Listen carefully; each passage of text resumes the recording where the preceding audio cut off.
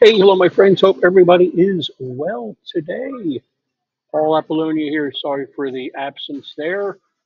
Kind of put some things on hold. Uh, we were waiting for our new granddaughter to arrive, and she arrived uh, a week, uh, Saturday, a couple days ago. So excited. Um, everything went well. She's really healthy, sleeping a lot, obviously. She's a newborn, but everything is good there. So that's kind of why I've been a little bit absent here. But thank you so much for everybody that's hung in there again. Appreciate it. Up to 1,251 subscribers. Thank you so much. And please uh, like this video and uh, subscribe to my channel. Don't forget, after you subscribe, hover over that, hover, yeah, hover over that subscribe button and um, click the all, and uh, you'll get all the videos. Wearing my grandpa hat, 2024, my daughter got me for Christmas.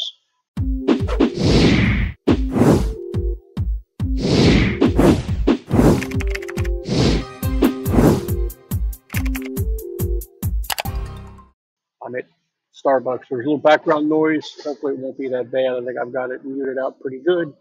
I'm uh, going to show you about five items I sold uh, a little while ago, maybe about a week or two ago, maybe three. Not real high end, high earning items, but uh, hey, whatever. Pretty much an open book. Uh, give you some tips and tricks on um, what I sold. Do a lot of consignment. Actually, kind of not doing it anymore, but really being real picky on who I do consignment for. We are thinking about downsizing. Um, the market is just for real estate. It's just not there right now, so I don't know what we're going to do. But uh, we got to stay in Raleigh, we'll stay in Raleigh. It's no big deal. It's not like we're living in an awful place. Just like I get to a warmer climate to where it's um, warmer all year round. Let me shrink this ugly mug of mine. And here we go. Let's go to the first item. I'm going to tell you where I got it. Oop, not that. All right. The story of the uh, Precious Moment figurines. If you haven't been keeping up with this, uh, I've done several videos on on this subject, but try and make friends, colleagues, whatever you want to call them, with other people. What you're doing, I do consignment, obviously, and I try my best to be uh, friendly to other people that are doing consignment, consignors, I guess they call it. And um, guy by the name of Trader Chris, I think he's out in the Fuquay-Varina now. Um, came friends with him years ago. He comes to my meetup group. Oh, don't forget, I run the Raleigh eBay meetup group. We are not meeting tonight uh, because I canceled it because I didn't know when the baby was coming. But um, we meet second Thursday of the month at um, or this afternoon at 3 p.m. Eastern Standard Time till uh, 5 o'clock. Uh, basically, I try my best to have guests on. I we get probably about 10 to uh, 15, 20 people on, it's a Zoom format. It is not uh, in person. I'm going to try my best to have it in person now and then. The problem with that is that I get more people on Zoom that are from out of the area. So back to this. Uh, I made friends with this guy years and years ago. It's been on my meetup so much since the beginning and he always calls me and says, "Hey, I've got." He deals with uh, super high end stuff, estate jewelry, stuff like that, just super high end stuff that I really don't have a desire to. And he calls me every once in a while and says, "Hey, I've got this stuff. Do you want it?" And most of the time, I take it. This time, he had 250 precious moment figurines. Probably should have said no. Um, I did okay with these. What I do is I've sold them in groups of nine. Why I do nine? Just because I'm going to do ten. I want to catch people like nine. So um, sold a good bit. Probably sold about 175 like that in groups of nine. Sold a lot of single ones. Um, most of them went for. I sold them in groups of nine for about 24.99 plus shipping. Um, sometimes a few of them broke in shipping. I have no idea how that happened. I bubble wrap these suckers like crazy. Um, if somebody sent me a message and said, "Hey, one's broke, two's broke, whatever's broke," I would just refund them. The I would divide nine into whatever twenty four ninety nine and just refund them that, and they were happy. Um, I did sell a few. There were a few that went for uh, 30, 40, 50, 60 bucks, but that was actually a very small handful of them. Um, I don't even know why I sold this one. it's so low. I'm really trying not to get into the low end sales, but 9.99. Um, I didn't make much off of this. I think shipping was about 6.50. Um, so all my titles are um, eBay. Um, not eBay friendly, eBay uh, best practices, no special characters, there is no box. I do have the boxes for these, and when I sold the first one, I went through 250 boxes and found the box, and I thought, we're not doing this. I am going to sell the boxes as a lot. Um, excuse me. Um, probably not going to go for much, probably 50, maybe 50 bucks with maybe 20 bucks shipping. Um, so going to put them all in a big box um, and get them out that way. Take pictures of all different sizes. These are all done on my phone. White background using a project board from Dollar Tree or what I call five quarter tree now. Everything's a dollar and a quarter plus. Um, I always take a picture of as many angles as I can. I always take a picture of a close up of the identification. I always use the uh, condition. If it's anything but new, I always put a condition description in there. This figurine will be bubble wrapped with care, and the ones that broke. We won't talk about that. Please review it. Nope. Stress no box. I don't think I got it down here. Um, these were pretty easy to do. Once I created one, I just did the sell similar with everything else and just changed um, little things in the other specifics. Other specifics specifics are very important. This is these come into play when you're searching on eBay on the left, when you're doing new, used, color, um, whatever. It's relying on item specifics. Very important to use these. Do not put any. Don't put NA. Don't put um, none, stuff like that. Um, I did know because that was an option. Um, just don't use, if the, item, if the item specific does not pertain to your item, just leave it blank. It's okay. You can even add item specifics if you want. Anything when you're doing item, item, yeah, item specifics, when you get the pull down menu, those you want to try and pick one in those pull down menu because that's the most popular ones that are picked. Uh, my descriptions are pretty simple, copy and paste of the title and uh, copy and paste of what I did. Um, excuse the noise here, sorry. It's picking up a little bit. But we're going to continue anyway. Um, uh, yeah, right. And, and, and I put a lot number. Well, a lot number. What do you mean by lot number? What I did was I just put these in grocery bags, plastic grocery bags, after I bubble what I did first was I didn't really bubble wrap them at first. The first four or five I sold, and then when I went to ship them, I had to bubble wrap them all and put them in a box. Then I thought, heck with this. I bubble wrapped them, then put them in, you know, it's just a plastic grocery bag that you get at the grocery store, and wrote with a sharpie like lot 10, lot 11. Um, think I have one more in here, and what I'm going to show you. Like I said, it was not a big dollar sale. Um, maybe I made uh, ten dollars on this, which, like I said, I'm, I'm I used to really like say, man, I'll sell anything and everything um, for whatever as long as it's a quick ship, but it's just not worth it anymore. Oh, here's another one. Hopefully that's the last one. Yes, I think it is. All right. Big $14. These three uh, um, clowns. Gosh, I'm so sorry. Maybe I'm a clown. Oh, went for fourteen dollars. Very lightweight. I, I don't even think they were like two pounds. They went into a small eBay box, six by six by six, I think it was, and they arrived safely. Didn't get any complaints. Each one, I um, that's nice and clear. Um, I made sure I that's another nice and clear photo. Nice dirt on it. Okay, um, but they're happy with them. Again, no box probably made about thirteen dollars, maybe twelve dollars on these. Again, they went into a very small, I think six by six by four box. I forget. One of the eBay boxes you can order if you have a store anything but a basic. Uh, I get twenty five dollars every quarter for uh, shipping supplies, and I use it every quarter. What I do is one month I, one quarter I did not use it because I forgot. So what I do now is the minute I get the uh, new quarter starts, I just go and buy, um, get my shipping supplies. Like I said, all pictures are done there. Same thing, nothing fancy. Same thing I told you before. All right, microwave trays. Boy, I used to sell a boatload of these back in the day. Someone gave me these. Again, I did videos on this. Tell everybody what you are doing. You'll be amazed what people give you.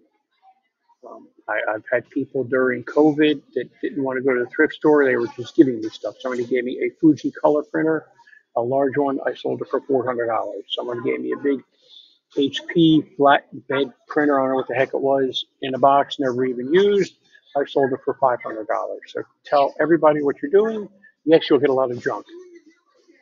Deal with it. but this guy gave me five of these plates. They are super long tail sales, which means you're going to have it for a long time in your eBay store. It's up to you. They don't take up a lot of room. Pretty flat. Should I have taken these? Probably not. I still have about five of them in my store. I've been doing a lot of clearing out. I think I'm down to, uh, I'm building it back up again, but with the baby coming and with us possibly moving, I was doing a lot of downsizing. I think I'm down to a big whopping 115 items in my store. Wow. I know. I need to build that up because if you're not listing, you're not selling. eBay likes to see action. But this fifteen dollars, uh, yes, I charge shipping twelve ninety nine. Oh, I have one more left. Um, where do I get information on these? There is a site I forget. If you type in microwave plates or microwave trays, or excuse me, little try here today. In Google, I think there's a site out there that has microwave trays. Um, you can do Google Lens on these things on your phone with the app Google Lens lay it out flat, take a picture, and Google Lens should find it. You can search eBay. What you're looking for is the size, which is 12 inches. I measured, and you want to make sure this pattern, you want to make sure that, whoop, that pattern there is the same, what you're looking at. Um, these fit multitude of microwaves. Whirlpool, Kenmore, you name it, it fits a lot of microwaves. Um, same thing, using the uh,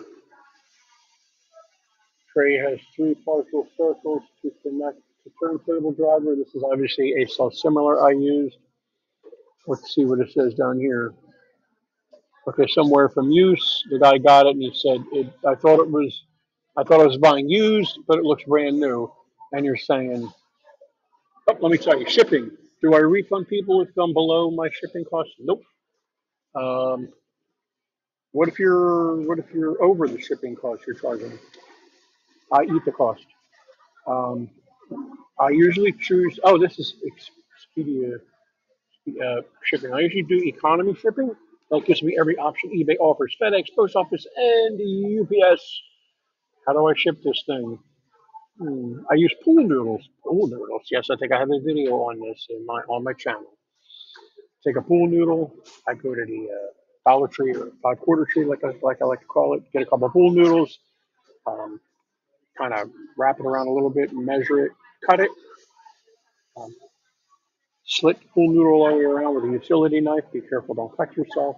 Just you want to open one side of it, then you want to put this around the um, the tray, tape one end of it, tape it again, make sure it's nice and secure so it's not going to fly off. Then I take another piece of a pool noodle about the diameter of, of the tray, slit that all the way in half, being careful I don't cut myself. Put one side on one of the micro, one half on one side of the tray, one half on the other side of the tray, and tape it up. Then I take a piece of cardboard. If it's got writing on it or printing on it, I flip it inside out, and I just wrap like you're wrapping a gift at holiday season. Wrap it and tape the living heck out of it, and that's how I ship it out pretty easy. It gets there safely and secure. I shipped many, many, many of these out. Two more items left, and what is this? It's a okay. Boy, back in the day, I used to do really well with Kirby stuff. I've sold vacuum cleaners as a whole. I've sold parts. They always sold well and fast. Um, this was a vacuum cleaner that I got from the uh, thrift store that just sat on eBay for a very, very long time probably a year plus. And I said, heck with it. I'm going to part it out. Um, sold the bag for 40 bucks. Sold the motor part, I think, for 40 bucks or $35 plus shipping. And I sold this, and that's about all I sold off the vacuum cleaner. Man used to sell these things for two hundred dollars back in the day. I think they've just reached their their end of life. Here's some bags down here, forty nine dollars, forty nine dollars, twenty eight dollars. So there you go. But uh, there is money in parts. I'm actually trying to get more into parts, smaller parts, so I don't have this huge, large inventory. But there is money in parts, not of any kind, just there is money in parts. Appliance parts, vacuum cleaner parts, Shark vacuum cleaners, Dyson vacuum cleaner parts sell well. The canisters from the Dyson sell very quickly. The canisters from the Shark vacuum sell very quickly. I've done several videos on parting those two out. So uh, check those out. But there is money in parts. Um, people saving money, people trying to save money, um, just stuff like that took as many pictures as I could of this thing, all different angles. This took a while to sell. Probably took about three months to sell. Um, probably made about probably about twenty-one dollars off of that. Like I said, these aren't big-time sales. What do they make off of this thing? Probably fourteen dollars. One more item, and that is it, my friends. Okay, another. This is an old, old, old, old, old, old, old, old old consignment deal. Probably five, six years old, if not uh, older than that, longer than that. From a uh, gentleman I knew that was a pastor that was moving on from his church to go on and follow something else, and he had almost a whole library full of stuff of books, and I took them on consignment. And honestly, I didn't do anything with them. I finally saw the guy months later who goes, "What's wrong with it?" I gave him a hundred bucks for all the books. I ended up in my process of downsizing. I ended up getting rid of most of them, all of them, just about keeping probably a hand, probably keeping about twenty of them, and sold and sold. Um, sold about 10 of them so far 10 different types of books there is money in these christian books um, if you can find them um, especially i've got a few series a few books geared towards pastors and they have sold pretty good um, i'm not a huge bookseller i used to sell books on amazon years ago but not not big time just for about a year or so people do sell books on ebay the one reason why people sell books on ebay is because you get more than one picture of the book and you can show. I show the front. I show every angle I can from the book. The page thing. I open up page, them the um, the information on publishing date and everything, and all that other stuff. Um, I did really well on this. This went out media mail because it is a book, so I did really well. Probably four fifty in shipping, maybe five dollars. My best offer was, oh my gosh, I can't remember. Um, like thirty-five dollars, I think it was. So I did pretty good on that. Well, that is about it. Sorry if I was interrupted here a lot. I'm trying to talk between the noise. So hopefully the noise wasn't so bad. And again, please don't forget. Oh, don't forget subscribe to my channel. And thank you so much for watching. I appreciate every one of you guys and gals. Thanks a lot for watching, and uh, stay tuned for more videos. Hopefully a lot faster than I. There won't be this kind of delay. There's no more grandchildren in the picture, so that's good. All right, thanks a lot. I'll see you. You have a good day. Bye bye. Hey, what's up, everybody? It's Steve with Rake and Profit. I'm here with Paul, and I just want to shoot a quick testimonial for him because he's been one of my good friends for over, what, four or five years now? yeah. And if you're looking to learn about selling on eBay and you want to start a side hustle, you just want to make some money flipping stuff on eBay, you're in great hands. Paul's been doing this for a long time. He's helped a ton of people, and I put my full faith and trust in him. So, Paul, I appreciate you. You bet. Thank you so much. You got it.